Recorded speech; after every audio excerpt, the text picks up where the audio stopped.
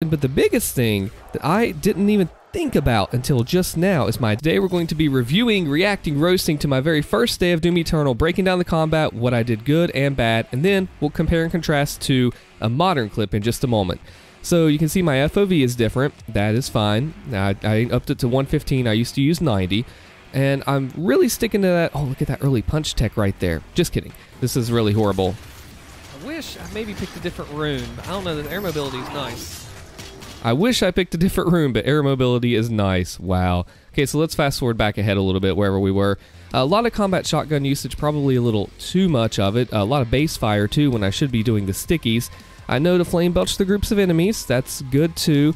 Uh, movement. Do you think movement's maybe a little jerky? It's not really refined or smooth just yet. Uh, I'm really okay. The only reason I moved over to the plasma was because I ran out of shotgun or something. Uh, so I'm charging up Heat Blast. I knew to do that from 2016. But, but nothing's really smooth when, when you're looking at the combat. And this was my 12th try on here. Uh, first try, I burned up all my extra lives and then had to just uh, do this from here. Okay, so uh, as I'm saying, I have not pulled out the heavy cannon, not once. Once the heavy cannon does not come out. So I can also tell that the base fire is too much. I, I like how I've got everything going on, but I don't know. Whoever's playing this is, is being a newbie. Just kidding. So uh, going for the glory kills, and that works too. The main problems I'm seeing with this is the jerky movement, which is not even a. It's it's whatever. You have the the biggest problem is one weapon. I'm only using the combat shotgun, and I am only even doing a lot of base fire. So something's going wrong there, right? Now the Dread Knight. Let's see how I handle this. I have a full almost heat blast. Almost. There's our full. Okay, I know to do the blast. It's 700 damage. 300, 500, 700 per pip on each one.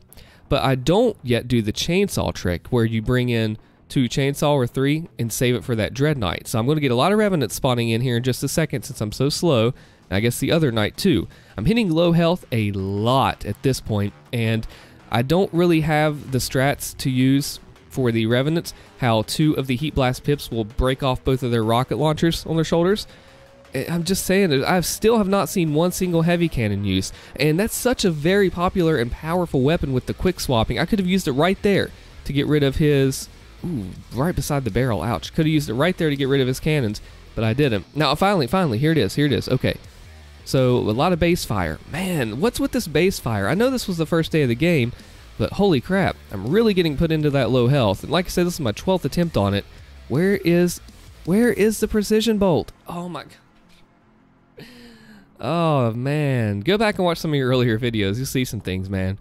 Okay, could go for the weak points. I mean, that would help a little bit. Base fire. No, stop doing it. So at least another chainsaw. I've barely used the grenades, so that's another thing that I'd want to do now. Let's see what else is the issue. I, I guess I'm being forced to use all the other weapons, or maybe I just remembered it. But I do want to let you hear something that, that I... We'll come back to this section. You have to hear this, okay? Listen to this. Soak up that armor. Good job with the flame belch usage right there. All right, so let's take a look and see as the arena begins to fade down where we are. I can't get over all that base fire. So the revenants are coming in. We're looking pretty good there. And I, I, what I'm finding out too is I am at least able to restack, right? I'm still able to pull that health and armor back with the Flame Belch. I'm not using Blood Punch like hardly at all, properly at least. But when this arena, you want to pull your Blood Punch together for the big packs of enemies. Uh, when you really where there's so many fodder, you want to you know flame belch them all, use your frags, your blood punches, your heat blast pips to get all the groups together. Since you don't have your headshot mastery for the precision bolt that explodes all the fodder, finally get a revenant. So I think a lot of these things really it's it's not so much like oh it's my fault this is not what I would do, but it's just not understanding the game yet where it's so new. Okay, I mean I would have heat blasted a little earlier, but that works too. I think at this stage, I'm whittling them down, and it's a huge difference, really, when you compare a more modern gameplay that I just pulled up and pulled together with uh, one recording. And we're going to look at it after this one and see how it differs. So, as you can see, it's just the lone gargoyle, and I'm pretty sure this is the end of it. Look at the relief on my face here. Okay, so let's compare and contrast that with a random just play. I just booted up the game just to record this footage. Nothing special about it. So you can see I'm using the Heat Blast, trying to get them all together. And that was a base combat shotgun. And using all the different weapons, whereas before you just see me using the regular shotgun. I'm going to make these armor pulls for situations just like that. I can dance around, avoid shots better as I'm talking to you and just demonstrating what I'm doing. quick switching and well, I'm not even so much quick switching, but the scope in just like that. Watch, boom. Oh, I don't have the barrel upgrade. Oops, better not do that. Oh, another thing too, blood punching the crowds. So altogether, if I had to review it then and now, I would say that the movement is a lot more smooth. I know to save the. Oh wow, this is really nice. So I know to save everything. I can recover better if I screw something up like that. Oh, I have my chainsaw saved for that Dread Knight on purpose. I haven't been using my flame belch like I need to. Boom. So altogether, like I know it's been like a year and a half, but I can tell a huge difference from then and now. I mean, I know I've gotten low health, but I'm like talking and trying to demonstrate something. I also know that two of these little charges here, as I'm charging up, will break those Revenant cannons. That's what they're called. Whatever. So you see, just everything's so much. Gosh, it's so crazy going back and looking at your first day and like seeing what's changed. Like I can sloppily play here, but it just and this is for anybody watching. Like anybody watching, if you go back and look at your first day, Eternal is so good about player progression, player progression, and helping you understand like I can get better at this game. You go back, you go back. Look, go take like a few months ago and see. I actually have to get rid of the Dread Knight. So what else is there? Oh, faltering. Watch, watch. I wouldn't have done this on day one. Let me find him. Oh, this is actually a really risky move. Boom. Falter, Blood Punch the Dread Knight. Never would have done that day one because it's stuff that you learn over time. Let's get rid of this little sucker here. Is this it? See, it's just a difference. And I don't mean this like when you go look back at your old play in like a bragging way, but if you reflect, you can tell like, hey, these are things I'm doing at this point that I used to not do.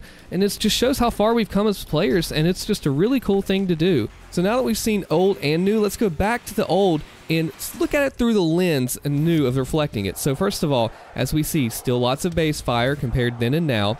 The tool belt is a huge thing that I noticed in the play that I'm not doing. So my flame belch does not really come out often, but the biggest thing that I didn't even think about until just now is my dash.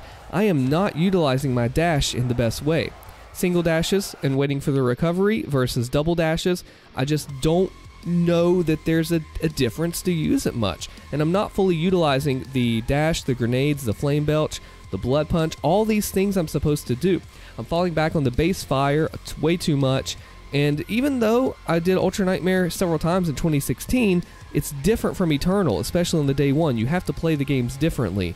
I think even even something as minor as the FOV increase also helped because I know a lot of people play with super high FOV now. I, I cap at 115 instead of 90, but you can tell I'm more comfortable and the difference behind it. And if that's not, just go back and look at your old footage. And if that's not motivation to show you how far you can come in this game, I don't know what is. It's so well designed for players to learn and grow. And, and it's just crazy if you go back and look at it. Also, I just want to thank everybody who's become a member lately that has gotten into the membership crew. If you want to become one, if you want me to see all your comments, sign up on the join button below, and I really do appreciate it. We're getting a pretty cool group set up there. You should be a part of it too. All right, I'm Allstin. Check out the next video here, and thank you for watching.